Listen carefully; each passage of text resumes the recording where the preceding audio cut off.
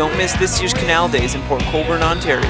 Sail the tall ship Empire Sandy and watch us light up the sky, featuring performances from the Headstones, Big Sugar, and more. The Port Colborne Canal Days Marine Heritage Festival, August 4th to 7th.